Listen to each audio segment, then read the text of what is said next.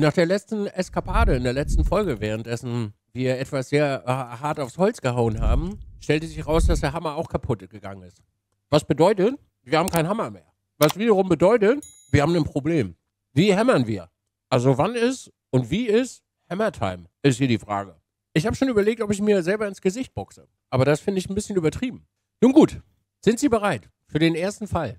Der erste ist auf jeden Fall schon ähm, interessant. Wir starten das Feuerwerk mit folgendem Fall. Eines Tages am Nachmittag des 28.08. auf dem Ungaro-Ring ein Porsche. Platz 9. Der eine oder andere wird sich jetzt wahrscheinlich denken, Mensch, rote Plaketten, ja oder nein? Aber wir sehen, Pro AM, rechts Pro, davor auch ein paar Pros. Die sind also im höheren Bereich unterwegs. Man könnte meinen, hm, die Leute haben was drauf. Aber folgende Ereignisse spielten sich ab. Vor Gericht alle entsetzt, als sie das gesehen haben. Lassen wir das Bildmaterial laufen.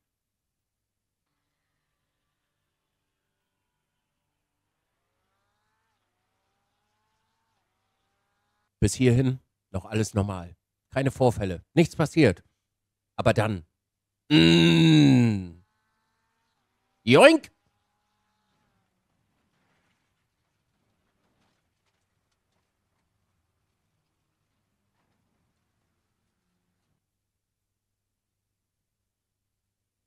Der Schrottplatz wurde eröffnet.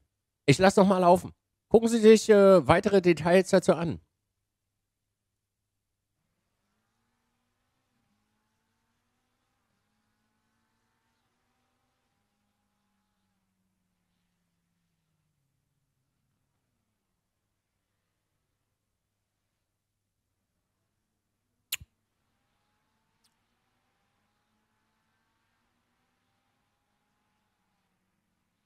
Man könnte meinen, es war eine Kettenreaktion, die sich da am 28.08. auf dem Ungaro-Ring am äh, Nachmittag abspielte. Es war wirklich ein Fiasko. Ich höre schon die Stimmen aus dem Gerichtssaal. No further action. Oh, man kann sich äh, nicht so sicher sein. Ist es denn wirklich jetzt no further action oder vielleicht doch nicht? Jetzt ist ja die Frage, was denken Sie da draußen, wer hier wen reportet?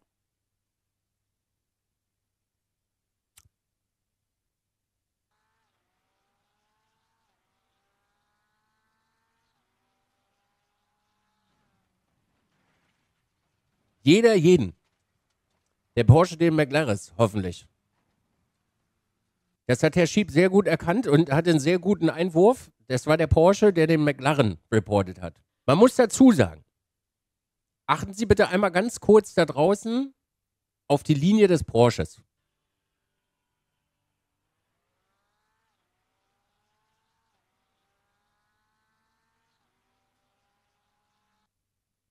Fällt Ihnen was auf? Muss ich fragen. Fällt Ihnen was auf? An der Linie des Porsches. Ich lasse das nochmal laufen.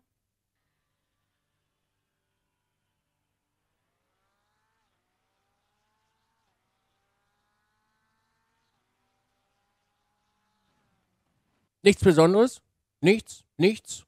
Man muss dazu sagen, er hat am Anfang so einen ganz leichten, wirklich einen, einen simplen, ganz, ganz leichten Schlenker nach rechts. Minimal. Wirklich minimal. Und danach fährt er seine Linie runter. So, jetzt achten Sie mal bitte auf die Linie vom McLaren. Vielleicht fällt Ihnen da ja was auf.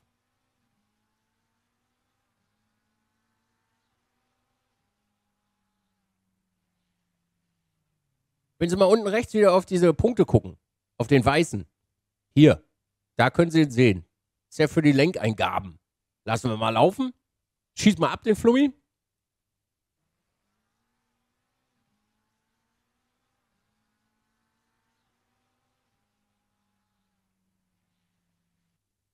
Geht die Qualität auch besser?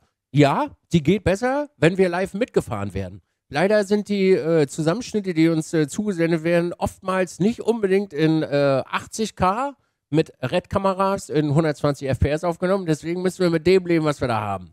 So. An der Stelle muss man ganz klar sagen, und das ist am Anfang, ne, wenn man sich das einmal anguckt, würde ich sagen, sagt man so, die fahren beide ineinander rein. Aber der McLorris, der zieht wirklich von links nach rechts rein. So, meine Damen und Herren, was haben wir denn äh, vor Gericht für eine Strafe dafür? Wie teuer wird denn das Bußgeld? Von rechts nach links, was habe ich denn gesagt? Döner für alle, Sozialdienst, ja, drei Tage Pause, Urlaub für ihn, alles, Pause, drei Tage, drei Tage, Führerschein weg. Führerschein weg ist eine gute Idee, aber das wäre vielleicht ein bisschen hart, oder? Gehen wir, mal an, gehen wir mal in den Gerichtssaal. Also, die meisten von Ihnen da draußen haben das schon äh, sehr gut erkannt. Das ist mal äh, drei Tage Päusken. Und so schnell kann es gehen, dass man mal drei Tage Pause hat, wenn man ganz kurz im Schrank pennt und sich ein bisschen verlenkt. Weil das war wirklich schon, das war schon wirklich sehr, sehr hart an der Grenze. Da waren ja wirklich alle involviert. Und die Menschen dahinter haben leider Gottes auch wieder ihre Bremse nicht gefunden. Weil sie sich gedacht haben, na, mich interessiert das nicht. Maximale Warpgeschwindigkeit und durch. So, jetzt können wir aber leider nicht äh, bannen, weil ich habe, doch, ich habe einen neuen Hammer. Ich habe mir nämlich von äh, dem guten Herrn äh, Wenzel Washington, habe ich mir einen ähm, Zollstock geklaut. Den hat er vergessen. Das wird jetzt unser Hammer. Scheiße, erste Beule drin. Ich muss, glaube ich, dann einen neuen kaufen für Herrn. Äh Gut. Das ist der Obi-Ban-Hammer und der geht jetzt raus. Da gibt es drei Tage Eusken. Schöne Grüße gehen hier übrigens an den Gerichtsmitarbeiter raus, der meinen Namen mit Doppel-Z geschrieben hat. Schöne Grüße, Küsschen aus Nüsschen. So, schieße ab den Flummi. So, wir gehen rein in den nächsten Fall. Wir haben heute wirklich ein, äh, ich würde schon sagen, ein maximales Potpourri an äh, wunderbaren Gefühlen, die hier auf uns zukommen. Wirklich. Kein Witz. Wir haben gestern bei der äh, Ausarbeitung schon sehr, sehr geschmunzelt.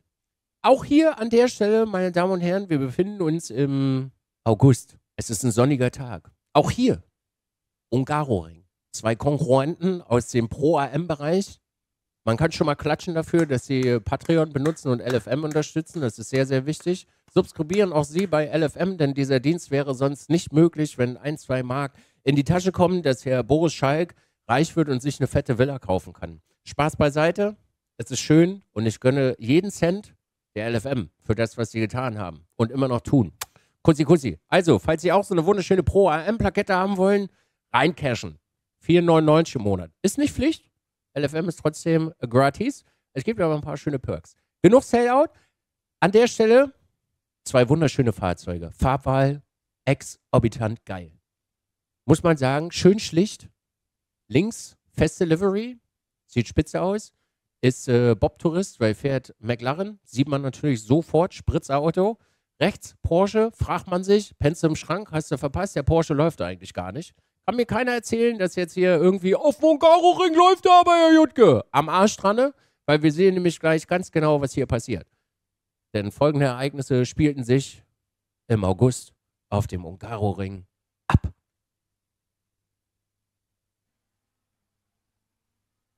Wir brauchen Ton. Wir haben keinen Ton. Ich will was hören. Da gab es schon mal den ersten Kontakt. Aber was ist jetzt hier? Zack. Hm. Jetzt wird sich der eine wahrscheinlich, der eine oder andere denken, hör, Herr Jutke, was, warum, äh, hö? Was soll das jetzt? Ich bin gespannt auf die äh, Zurufe. Ich bin gespannt auf die Zurufe. Das war übrigens, äh, sah sehr nach Netcode aus, wenn wir da jetzt nochmal ganz genau hingucken. Weil es sah nicht nach Berührung aus. Gucken Sie mal. Weil dem Porsche hat das eigentlich gar nichts mehr. Es sah ein bisschen nach, ne, nach Netcode aus, aber nur leicht. Eine Berührung war irgendwie trotzdem da. Ja. So, aber was ist jetzt hier passiert? Was ist jetzt hier vorgefallen? Wer reportet hier wen? Der McLaren reportet den Porsche. Mit der Reaktion habe ich etwas gerechnet.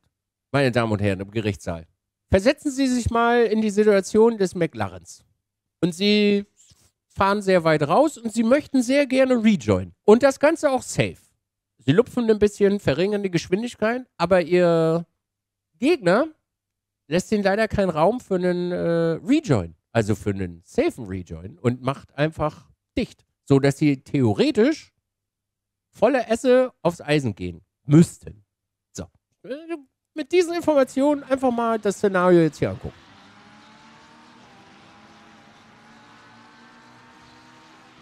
Der Porsche macht überhaupt gar keine Anstalten, ihn wieder reinzulassen und macht einfach dazu.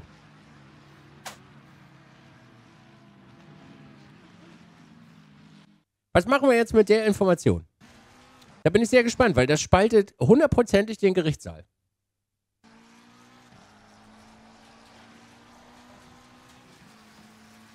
So, der Porsche ist immer noch in dem Wissen, dass da der McLaren drüben ist. Also wie würden Sie sich denn verhalten? Fragen wir, fragen wir einfach mal einen Gerichtssaal. Wie würden Sie sich verhalten? Würden Sie jetzt dem McLaren mit dem Wissen, dass er ja nun äh, durch den Kontakt abgeflogen ist, was wirklich doof ist, müssen wir nicht drüber reden, aber würden Sie ihn wieder äh, zurücklassen und weiter nach rechts fahren und ihn drauflassen? Ich müsste, genau, ich würde mit dem Porsche nach rechts fahren, müsste ich aber nicht. Okay, Vollgas bleiben.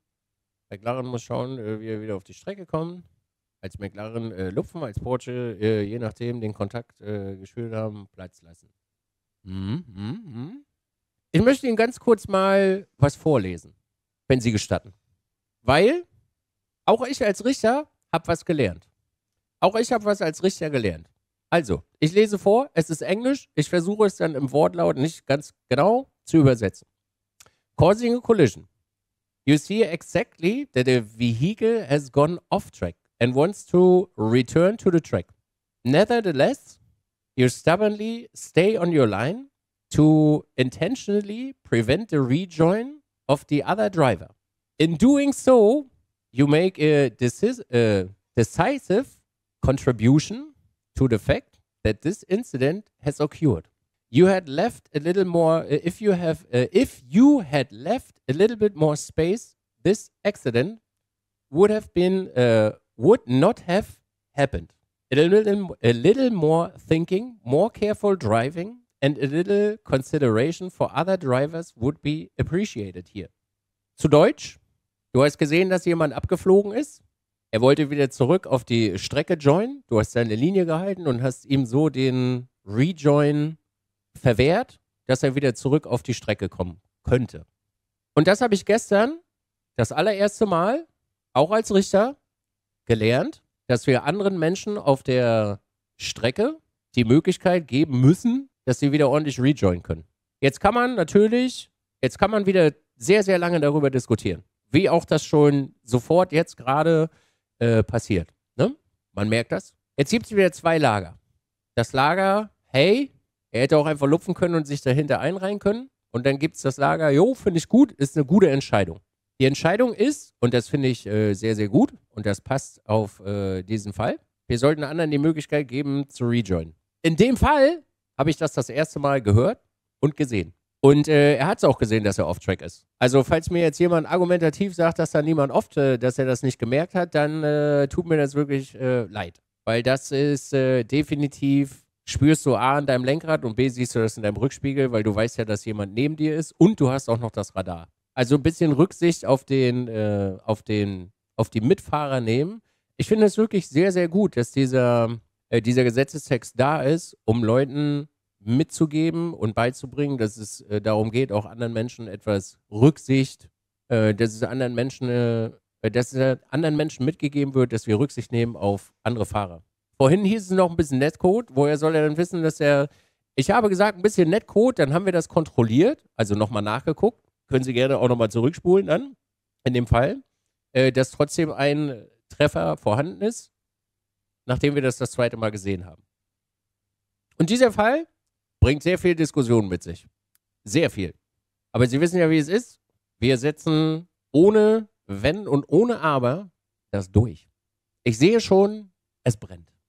Ich glaube, da sind wir wieder bei dem Punkt, und das ist der letzte Satz, den ich äh, das ist der letzte Satz, den ich jetzt hier an der Stelle nochmal äh, aufbringen möchte. Ich glaube, dass dieser Text eher, äh, dass dieser Text auf die nachfolgenden Fahrzeuge sich eher bezieht. Steht da nicht drin. Ne? Also wir haben schon über viele Fälle sehr viel diskutiert. Das steht da nicht drin. Da steht nicht nachfolgende Fahrzeuge oder sonstiges dergleichen, sondern dort steht drin, dass du deinem Mitfahrern die Möglichkeit geben musst, einen ordentlichen Rejoin zu ermöglichen. Wenn man seinen Vordermann äh, abschießen möchte, muss man also nur von, äh, nur von Off-Track machen. Was ich jetzt gerade hier schon wieder verstehe, ist, dass Leute äh, Horrorszenarien zusammenbauen, äh, wie zum Beispiel, wir haben einen Kontakt, du gehst raus und fährst einfach rein und willst das damit legitimieren. Nee, absolut nicht. Und das ist auch schon wieder Extremvarianten, die hier aus diesem Fall gebaut werden. Und genau deswegen schieße ich den Flummi ab und wir gehen in den nächsten, weil sonst fangen wir hier endlos Diskussionen an. Ihnen kann das jetzt schmecken oder Ihnen kann das nicht schmecken, was äh, völlig fein ist und vollkommen in Ordnung ist, weil Entscheidungen sind nicht immer zu 100% machbar, dass Sie einer Meinung sind. Ich finde diese Regelung sehr, sehr schön und äh, habe sie an dieser Stelle hier in diesem Fall nochmal gelernt. Und damit gehen wir in den nächsten Fall rein.